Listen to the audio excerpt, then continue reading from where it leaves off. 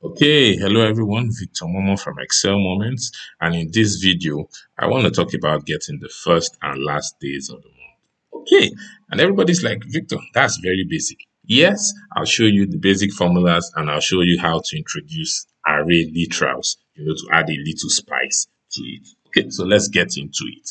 So to get the first day of the month, there are many ways, you know, people do that. But the easiest that I have seen is just to find the last day of the previous month because we already have functions that help us do that. The last day of the previous month, if you add one to it, is going to give you the first day of this month. It's that simple.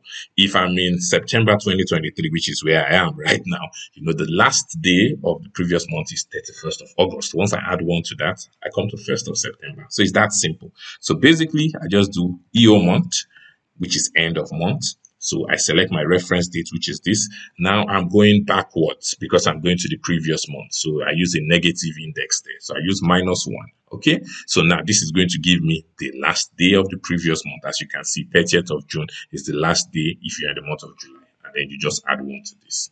And now, you know, you are where you should be, which is the first day of the month based on, you know, this reference. For the last day of that month is very simple because you are in the current month. So you just use an EOMONTH. Okay.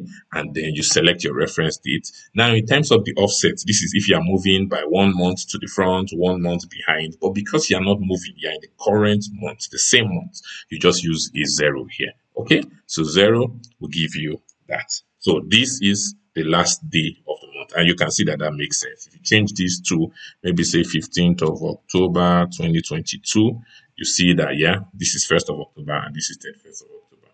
And it would work even if you had, you know, 30 days, like maybe a September month or something like that. Okay.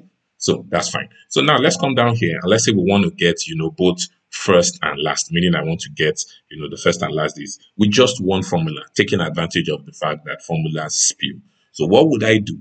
Because I've already done this here and here, you know, I've seen both formulas. Somebody could say, you know, use an HSTACK. It's like if I do an HSTACK of this, let's say, and this, which is horizontally stacking them together, it will give me my answer. And if I didn't want to reference those cells, you know, it means I will have to put those two formulas here. So instead of C5, I copy this EOMONTH formula, put it there. Instead of C7, I copy this and put it in there. But for me, feels like I'm doing two things, right?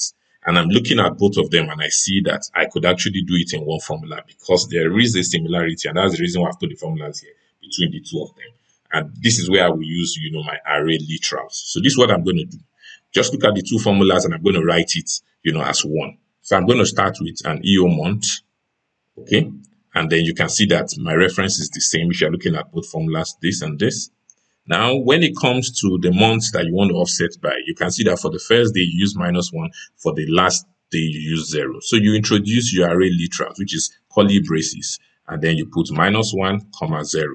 Okay. So now you are doing the two of them together in one place. You close the EOMONTH, as you can see. You do a plus. When you look at outside of the EOMONTH, what do you have? For the first day, you have a plus one. For the last day, you know, you have nothing. So introduce your array literals again, one, comma zero. Okay, so the first one you can see here, minus one corresponds to first day, and one also corresponds to first day, zero, zero corresponds to last day. You do your enter here, and you can see that we have the formula now spilling. So we are using just one formula, but taking advantage of array literals, you know, to have it spill into the two. This is a good point where I'll break, you know, to ask for those who haven't subscribed to the channel, you know, to please click, you know, the subscribe button. It definitely will help grow the channel, encourage me to also do much more videos. If you also like the video, please hit the like button. Thank you so, so much. Back to Excel. Okay, so now, next stage I want to take you to is what if I want to generate, you know, the first and last days of the month for more or less like a calendar year, 12 months but starting with whatever month I have here as my reference, meaning that I'm going to have 1st September, 1st October, 1st November, and so on for 12. And I'm also going to have the end of the month, 30th September, you know, 31st October, and so on. So let's start with the first one, which is the first days of the month. I will want to create, of course, a sequence of 12. You know, we're going to do that, right? So the sequence function comes in handy here. So what I'm going to do is pretty much follow this same pattern, right? So now I'm going to do EOMONTH I'm going to select my reference date. Now I know that I need, you know, minus one there, right? That would be for the first. So it means the first one is minus one, the next is zero, the next is one, two, three, and so on. I can decide to put my minus one here. And there's a reason why I'm doing that. And I will do plus sequence, you know, of 12. But if you do this, you get the wrong answer. Why? Because if you do sequence of 12, it's going to start from 1. So minus 1 plus 1 will give you 0. But what you need is actually what? Minus 1 for the first month. So instead of just leaving it this way, I can have my start as what? 0. Okay? So that's all I'm going to do so that I can create that sequence of minus 1, 0, 1, and so on. Good. And now let's press enter. So you can see what do we have here? We still need a plus 1, right? Okay, so we need a plus 1. Okay, so plus 1. So now, yes, we have it right. So this is 1st September, 1st October. It goes all the way for 12 months. That's the sequence we have created. So now let's look at the last month last day rather of the month. Okay. So for this one, it's pretty much the same thing too. We kind of do an EOMONTH. We select our reference. Now I know that I have what is zero here. So I can still use the same sequence, you know, of 12 and I'm going to start this at zero. Okay. So basically it's going to create zero, one, two, three, all the way to 11. But there'll be 12 rows, but it's going to start at zero because I know the first one needs to start with zero. Right. And that's the reason why I put my minus one here because I know that those patterns need to be similar if I want to use the array literals. So I close the bracket here.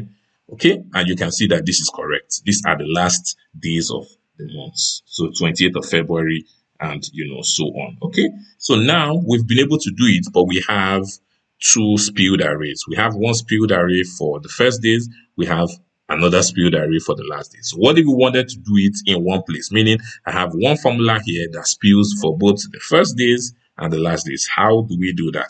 It's really about pattern recognition and using array literals. So what i'm going to do here is i'm going to do equals to EOMONTH. Just watch me. Okay? My first you know, reference here, start date is still C3. Now let's look at the two of them. What do we see? We can see that this one has a minus one. Here, technically, if there's a number here, it is going to be zero. So I will introduce my array literals. I will do minus one and zero. Okay. And then I'm going to add it to sequence of 12. So basically, I'm trying to do the two in one place. Okay. So minus one will be for the first days. Zero here will be for the last day. Okay, now let's not forget our zero as our starting point.